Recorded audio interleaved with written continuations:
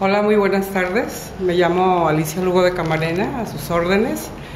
Eh, estamos aquí en la ciudad de León, Guanajuato, en el Templo del Inmaculado Corazón de María. Y estamos aquí sesionando como cada ocho días eh, el Grupo Mar.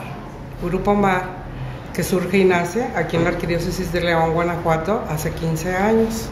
Sesionamos cada ocho días, ¿verdad? Y vemos temas de crecimiento personal y de bien para también el grupo. Eh, nuestra misión principal es la de compartir nuestra fe en las diferentes comunidades eh, de la República Mexicana.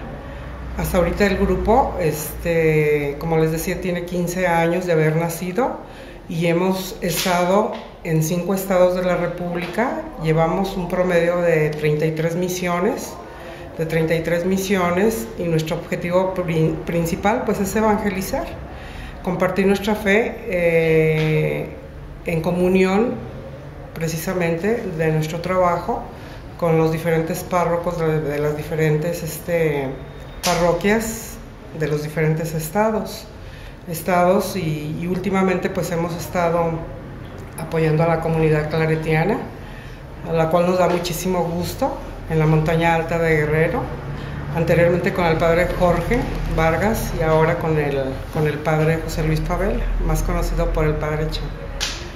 Y nos sentimos muy contentos de poder compartir, ¿verdad?, lo que Dios ha hecho en nuestras vidas a través de este caminar.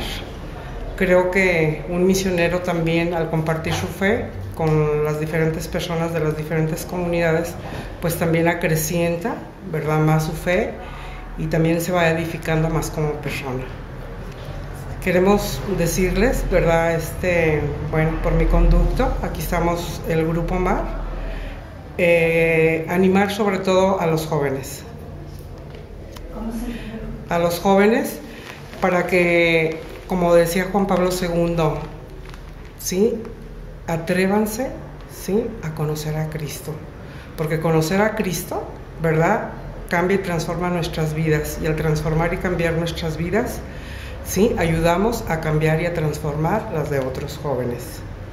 Yo soy la coordinadora, ¿verdad? Soy casada, eh, tengo dos hijos, también jóvenes. También jóvenes y, este, y tanto mi esposo como mis hijos, pues también estamos en, en esa línea, estamos en sintonía de, de vivir, ¿verdad? En casa, el amor de Dios y compartirlo con otras gentes. Y por eso pues este tiempo que, estoy aquí con los muchachos, yo me siento muy contenta en este caminar, el verlos crecer, el verlos edificar sus propias vidas y también la mía propia. Los animo también a los padres de familia para que apoyen a sus hijos.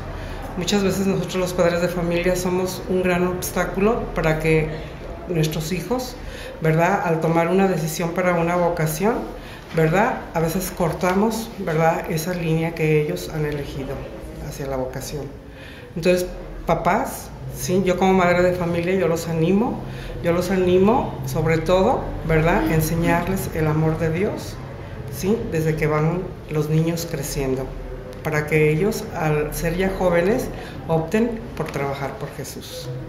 Gracias al Padre Miguel Ángel por estar aquí con nosotros, nos dio muchísimo gusto, Padre, tenerlo con nosotros y al usted compartir su vida con nosotros, pues también creo que ha animado mucho el espíritu sobre todo y los corazones de los muchachos que están aquí con nosotros.